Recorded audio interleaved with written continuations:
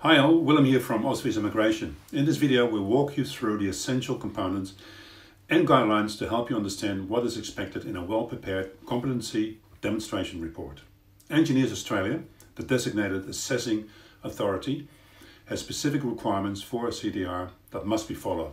These requirements are outlined in the Engineers Australia Migration Skills Assessment booklet and it's crucial to familiarize yourself with the guidelines before preparing your CDR.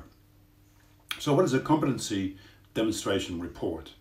A competency demonstration report or simply the CDR report is a combination of customized documents used by Engineers Australia to assess the competency of an engineer on the basis of engineering skills and knowledge, management, communication and leadership.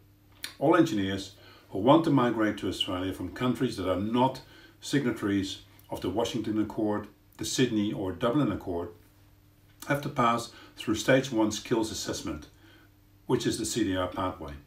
The first step in preparing a CDR is gathering all the necessary documents and evidence.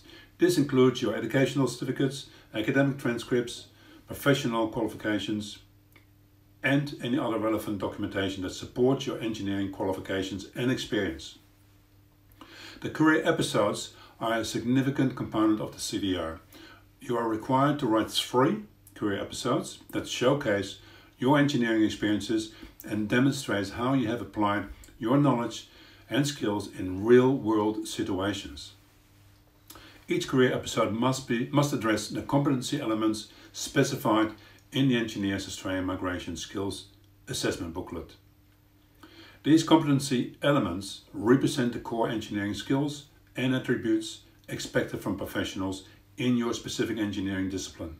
Along with the career episode, you need to provide a continuing professional development statement. This statement outlines your commitment to ongoing professional development and demonstrates your efforts to stay updated with the latest advancements and best practices in your field.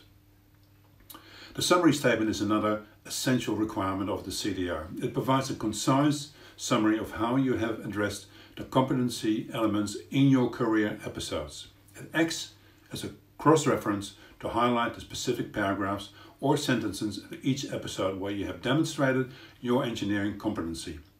It's highly recommended to seek guidance from a registered migration agent who is familiar with preparing skills assessment for engineers. To consult with one of our agents, please click the link below. Thank you for watching this video.